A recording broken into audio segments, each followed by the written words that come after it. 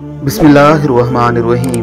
कुरान मुकद्दस में जहाँ औरतों के लिए पर्दे का हुक्म दिया गया है, वहीं मर्दों को भी ये हुक्म दिया गया है कि वो अपनी निगाहों की हिफाजत करें, वो अपनी नज़रों को नीचा रखें। इसी हवाले से आज हम आपके सामने एक इंतहाई दिलचस्प वीडियो लेकर आए हैं। ये एक यूरोपियन मुल्क में सोशल एक्सपेरिमेंट किया जा रहा था। एक लड़की लिफ्ट पर से गुजरते हुए सामने वाली लिफ्ट पर मौजूद लड़कों के बाजू पर हाथ फेरती और उनके एक्सप्रेशंस को चेक करती। बाज लड़के तो उसके पीछे भागते हुए आते थे। तकरीबन तमाम नौजवान ही एक तरह की हरकतें कर रहे थे अचानक एक नौजवान ऐसा भी आया, जिसके चेहरे पर सुन्नत रसूल थी। इसके बाजू पर भी यूँ ही अचानक हाथ फेरा गया।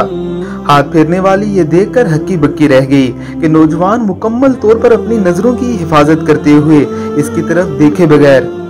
इसकी इस हरकत पर नदामत का इजहार कर रहा है और इसे इग्नोर करने की कोशिश कर रहा है। हमारे प्यारे पैगंबर वसलाम का इरशाद ग्रामी है कि हर दीन का एक इम्तियाज़ होता है। इस्लाम की इम्तियाजी शान हया है। हया ईमान में से है। बस जब तुम हया खो दो तो जो जी चाहे करो। ये लड़का इस हदीस मुबारक का अमली मजहर बना हुआ।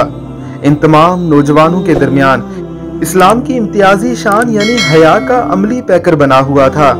इस नौजवान के इस वीडियो ने ना सिर्फ़ लड़की को मुतासर किया बल्कि इस वीडियो में मौजूद तमाम लोग ही इस वीडियो से इंतहाई मुतासर हुए और इस नौजवान की सेंसेरिटी को अप्रिशिएट करने पर मजबूर हुए हैं।